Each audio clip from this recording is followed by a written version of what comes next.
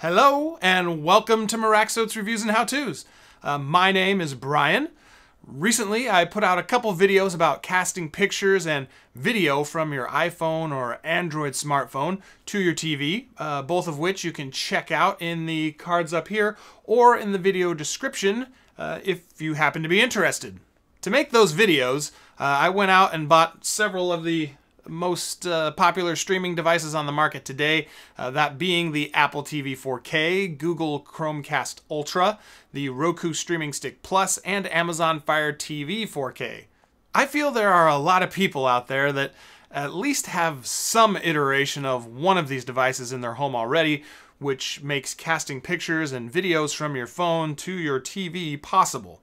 Anywho, that's not why you're here uh, you're looking to purchase one of these and uh, you are wanting some information about them to help you choose which one will work best for you.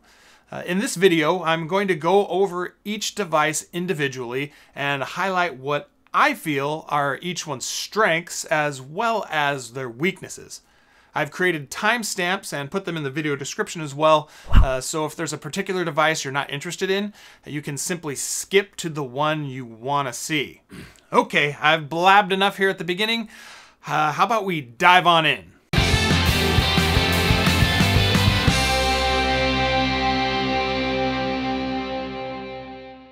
Uh, first up, I want to start with the Google Chromecast Ultra, uh, because the Chromecast differs from the other three in that I don't consider it to be a standalone device. Uh, what I mean by that is it requires you have a smartphone or tablet to operate, uh, hence the term cast in the name.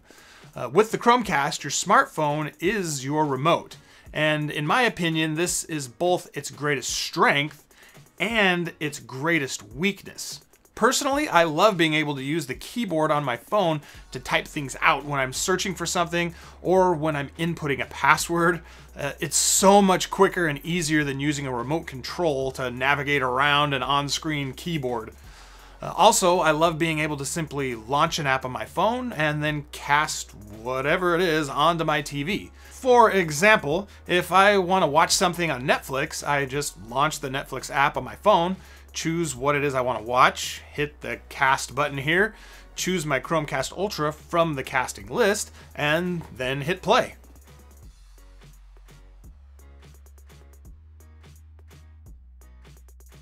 The Chromecast is compatible with pretty much every video and music streaming app out there. Not to mention, if you have an Android phone, you can very easily mirror your phone's screen to your TV as well as cast pictures and videos you've taken yourself.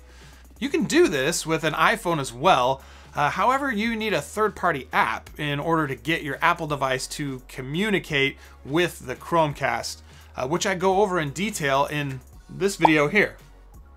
I've owned and used a Chromecast for several years now, uh, and I love it. Uh, but like I said earlier, as great as using your phone as the remote is, it's also the Chromecast's greatest weakness, uh, in my opinion. I have two kids, and in order for them to watch something on our Chromecast, uh, my wife or I have to queue it up on our phones and then cast it to the Chromecast for them. Uh, the Apple TV, Roku, and Fire TV all come with their own remote controls, which allows my kids to easily do it themselves.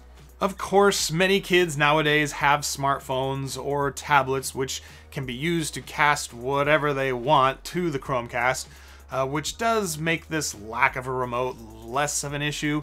Uh, however, I imagine there are many families out there who have children that do not have their own phone or a tablet, uh, so if mom or dad's phones aren't around, then they will be unable to view anything using the Chromecast.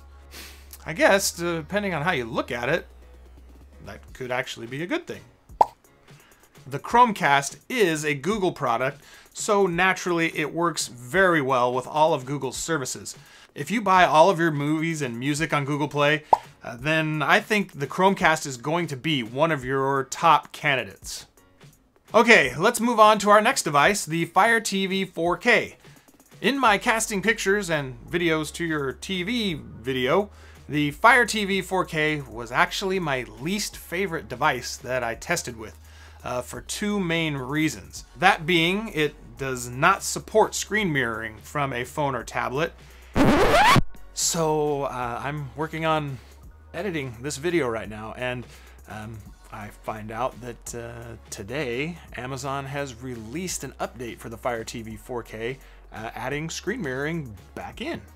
Apparently, I wasn't the only one that thought the lack of screen mirroring was dumb. As this video goes on, I am going to mention the lack of screen mirroring capability a few more times, but uh, you can go ahead and just disregard that because it actually does support it now, uh, thanks to today's update. Okay, back to the video. And in order to cast pictures and videos to it that I had taken on my phone, uh, required me downloading a third-party app. Uh, as far as I can tell, there is no built-in functionality for this. Although it was one of my least favorite in that regard, it is actually one of my favorite devices when it comes to its video and music streaming capabilities. Uh, the Fire TV 4K comes with its own remote, which to me is both a blessing and a curse. A blessing because you don't have to have a smartphone or tablet to use the Fire TV, and a curse because then you have one more remote control on your coffee table or entertainment center to clutter it up and potentially to lose in your couch cushion or somewhere else. Amazon does have a free Fire TV app you can install to your smartphone or tablet, which you can use to control the Fire TV in the event you misplace the included remote, which is good. Uh, a cool thing about the remote control is you can use it to control your TV's volume as well as turn your TV on and off. If you happen to be a cord cutter and don't have a cable or satellite remote you need to worry about, then the Fire TV remote can pretty much be all you need to operate your TV. Uh, the Fire TV Stick 4K comes with this nifty little adapter slash extension, so if you don't have enough space behind your TV to plug it straight in, uh, you can use the extension and bam, you're in business. In my opinion, the Fire TV is a great device for someone who is an Amazon Prime member. Uh, during setup, it's registered with your Amazon Prime account, which gives you access to everything on Amazon Prime Video, as well as Amazon Prime Music. There are also thousands of apps like Netflix, Hulu, HBO, Plex, Pandora, Spotify, uh, just to name a few, which you can install onto the Fire TV Stick 4K and stream from. Alexa has also been integrated into the Fire TV 4K, allowing you to simply use your voice to launch apps and search for content. Watch Avengers Infinity War on Netflix. Getting Avengers Infinity War from Netflix. Play the final countdown by Europe.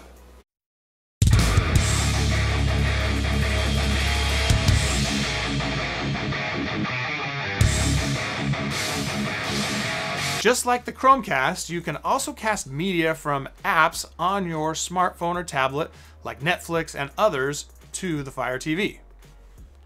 As for things about the Fire TV Stick 4K that I don't like, uh, first off is the size of the stick itself.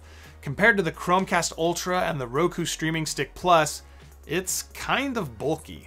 Uh, the absence of screen mirroring capability is also a bummer, as well as its lack of built-in functionality for casting pictures and videos I've taken on my phone.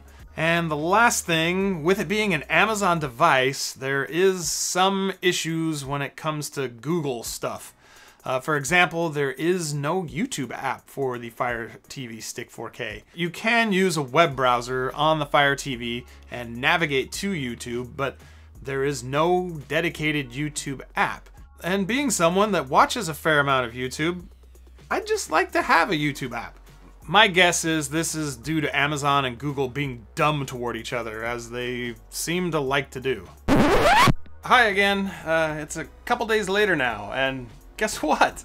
Uh, this morning, I read an article saying that Amazon and Google have seemingly resolved their little squabble, and the YouTube app will be returning to Fire TV devices once again. As of the making of this video, it hasn't happened yet, but they say it will in the coming months. Amazon and Google also made one other announcement about something that I talk about a little later on in the video. So I'll be popping in like this one more time to briefly talk about that. Uh, okay, so let's resume. Next up, we have the Apple TV 4K. Uh, in my opinion, the only reason to consider the Apple TV is if you are someone that is fully invested in the Apple ecosystem. When compared with the other devices I'm looking at in this video, it is the most expensive and has the least amount of compatibility with non-Apple devices. That being said, uh, Apple does do a great job of making all their products seamlessly integrate with one another. Uh, of all of these devices, I think the Apple TV was by far the easiest to set up. If you use your iPhone or iPad for the initial setup, all of your Apple account information is saved on your device already. So to log in and set up your Apple TV, all you really have to do is grant permission to your Apple TV to use this information and it will automatically log you into your Apple account and even connect itself to your home network. Pretty freaking slick. You can link your Apple TV to your iCloud account, which gives you access to your pictures and videos you've taken on your iPhone on your Apple TV. Also, all of your iTunes purchases can be found here, which is why I said if you're someone that's fully invested in the Apple ecosystem, then this is the device for you. If you buy all your movies and music on iTunes, then it's a no-brainer that the Apple TV is what you want. Uh, you can also link an iTunes library from a computer on your home network to the Apple TV, uh, giving you the ability to easily access and play music and videos uh, stored on that computer on your TV. The encounter could create a time paradox, the results of which could cause a chain reaction. Just the same as the Fire TV and Roku, you can add a lot of different third-party apps to the Apple TV like Netflix, Vudu, HBO, Plex, Amazon Prime Video, Pandora, and many, many more. Out of all the remotes, the Apple TV remote is definitely the fanciest. Uh, rather than having buttons to navigate up, down, and side to side, uh, there is a touchpad on the top portion of the remote where you just slide your thumb around to navigate to what you want. There is a bit of a learning curve when it comes to using this, but it's is just really cool. Like the Fire TV remote, you can use the Apple TV remote to turn your TV on and off, uh, as well as control the volume. Again, if you're a cord cutter, this means the only remote control you need is your Apple TV remote. Apple has also integrated Siri into the Apple TV, so rather than typing in the name of an app or movie you're searching for, you can just tell the Apple TV what it is you're looking for, and Siri will find it for you. Avengers Infinity War. Another feature that I think is pretty cool is when those times arise that you have to enter an email address or password. Uh, on the Fire TV and Roku, I had to use the remote to manually type in the password. The Apple TV, however, allows you to simply spell it out using your voice. E-M-A-I-L at E-M-A-I-L dot com. Each one of these streaming devices has a screensaver that comes on after a certain amount of inactivity. Uh, they typically display pictures of landscapes and stuff, uh, but Apple has decided to uh, one up everyone else and uses some really cool drone or helicopter footage instead. Yeah, it's a small thing, but I thought it was pretty cool. Uh, as for things that I don't like about the Apple TV, uh, my number one is the price. Chromecast, Fire TV, and Roku devices can all be had for well over $100 less than the cost of an Apple TV. The size of the Apple TV is also something that I'm not that hot on. Don't get me wrong, it is a good looking device. However, it has to sit on your entertainment center or somewhere. The Chromecast, Fire TV, and Roku streaming sticks, on the other hand, can be neatly concealed behind your TV, which is something I think many people, including myself, like. And the last thing I don't really like about the Apple TV is its lack of compatibility with devices other than Apple devices. If you're an Android user, casting things from your Android device to the Apple TV is not natively supported. It is possible, but more difficult to do. Uh, but again, the Apple TV isn't really intended for Android users, and I only bring this up because I'm not an Apple person. So obviously, the Apple TV is not the right device for me. Finally, let's move on to our last device in this roundup the Roku Streaming Stick Plus. When it came to the initial setup, the Roku was the most annoying, in my opinion. Perhaps that's because I didn't have an existing Roku account going in, but uh, whatever the reason, setting up the Roku felt much more arduous than any of the other devices I tried. After that, though, the Roku was definitely the, the device I feel I was most impressed by uh, when it came to casting pictures and videos as well as apps like Netflix and stuff. Being an Android user and seeing as I buy most of my media on Google Play, I fully expected the Chromecast to be the most compatible device for me. Uh, I was actually quite surprised to discover that the Roku Streaming Stick Plus works just as well as the Chromecast in all the areas that are most important to me. Uh, I can screen mirror my phone to it, I can easily cast my pictures and videos to it, and I can cast most of my favorite media streaming apps to it.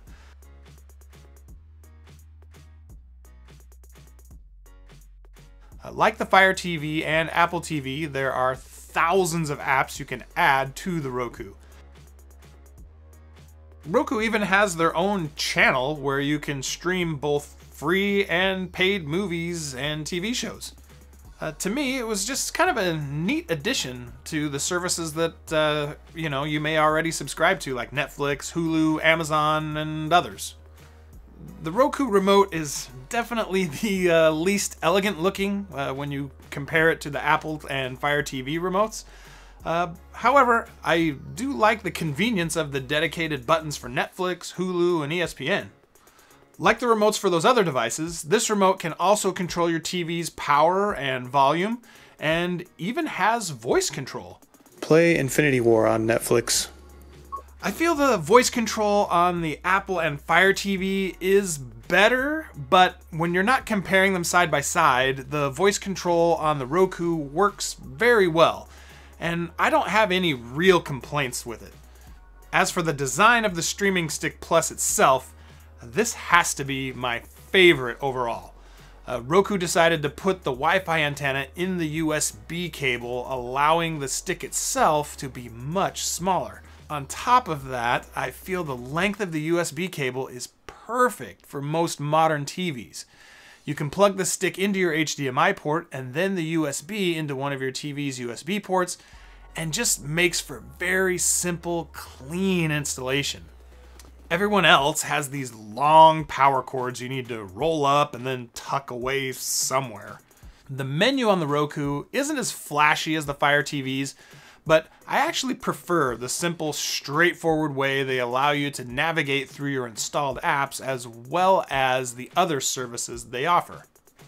When it comes to negatives on the Roku Streaming Stick Plus, I don't have a lot I feel I can knock it for. Uh, like I already mentioned, its initial setup was the most time consuming and annoying. Uh, there is some incompatibility when it comes to casting certain apps to it, uh, but that's an issue that's present on all of these devices, and like all the others, I can download those particular apps to the device and watch them that way. I feel that their remote is kind of ugly when you compare it to the others, uh, and their voice navigation isn't quite as smart as either Apple's or Amazon's, but at the same time, it's still really good. In conclusion, uh, as to which streaming device is right for you, in my opinion, it really boils down to what platform you are most invested in. If you're an Apple person and buy all of your stuff on iTunes, uh, then the device that is going to offer you the best experience is the Apple TV. If you're an Amazon Prime member and buy all your movies and music on Amazon, then the Fire TV is gonna work great for you. That being said, uh, you can get all your Amazon content on Roku as well. So if you're like me and are an Amazon Prime member, but also purchase a lot of stuff on Google or other places, uh, then the Roku is a very nice choice because Either Amazon or Google has made sure Amazon content cannot be cast to Chromecast and Google content cannot be played on a Fire TV. Finally, if you're fully invested in the Google platform uh, and you purchase all your media on Google Play, uh, then the Chromecast is going to offer you the, the best compatibility and functionality. The Roku does come in a close second, though, in my opinion, uh, as it has almost all the same functionality of the Chromecast and allows me to access my Amazon Prime services, which is something I cannot do on the Chromecast. Okay, uh, back for the last time. This is the other thing Amazon and Google announced today. Currently, the Prime Video app does not support casting to a Chromecast. However, sometime in the coming months, they're saying casting to a Chromecast will be enabled. So perhaps by the time you're watching this video, this limitation of the Chromecast will no longer exist. Uh, alrighty, that's it. Uh, let's wrap this video up. Wow, this video is now about twice as long as I was wanting to make it. What can I say? Uh, there's just too much to talk about to cram it all into a less than 10 minute video. But it is time for me to head out, so uh, if you like this video and it has helped you, uh, please click that thumbs up button, uh, share it with your friends, subscribe to the channel, and leave a comment if you have a question or would simply like to say hello. And if you'd like to help support me in my efforts to make more videos like this, uh, please check out my Amazon store where you can pick up things I feature in my videos like the Apple TV, Fire TV, or Roku streaming sticks I used in this video. Thanks so much for watching this video. It's been great to chat with you and hang out for a bit. I hope you have a wonderful day, and I look forward to seeing you again in another video. Until next time.